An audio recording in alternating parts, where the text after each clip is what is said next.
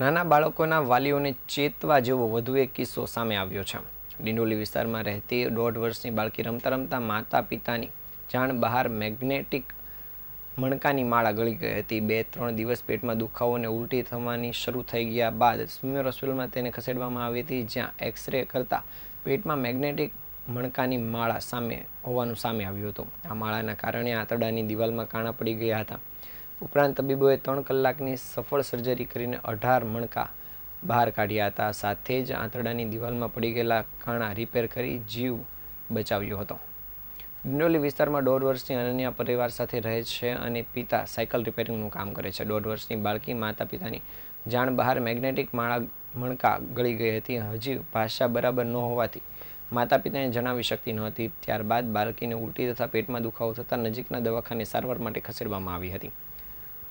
બેથી ત્રણ દિવસની સારવાર દરમિયાન બાળકીને ઉલટી તથા પેટમાં દુખાવો બંધ થયો ન હતો અને બાળકીને ફરીથી દવાખાને લઈ જવાતા ત્યાં એક્સરે કરવામાં આવ્યો હતો.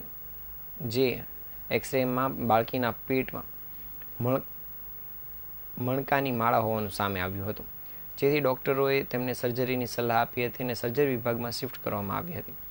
બાળકીને સર્જરી વિભાગના પ્રોફેસર ડૉક્ટર હરેશ ચૌહાણે એન્ડોસ્કોપી કરીને માળા કાઢવાની કોશિશ કરી હતી, પરંતુ મણકાના, માળાના મણકા જઠરની દિવાલમાં ખૂપી ગયા હતા. તે તાત્કાલિક ઓપન લેપ્રોસ, લેપ્રોટોમી એટલે કે ટાંકાવાળું ઓપરેશન કરવામાં આવ્યું હતું. સ્મીમેર હોસ્પિટલના તબીબો દ્વારા બાળકીના શરીરમાંથી અઢાર જેટલા મેગ્નેટિક મણકા બહાર કાઢવામાં આવ્યા હતા અને દર્દીને આજરોજ બાર વાગ્યા પછી સંપૂર્ણ સારવાર પૂરી થતાં, પૂરેપૂરી સ્વસ્થ થતાં તેને રજા આપવામાં આવી છે. જો કે પ્રાઇવેટ હોસ્પિટલમાં આ સંપૂર્ણ સારવારનો ખર્ચ લગભગ બે લાખ જેટલો થઈ શકે તેમ છે. જે સ્વિમર હોસ્પિટલમાં ખૂબ જ સસ્તામાં સંપૂર્ણ થયો હતો.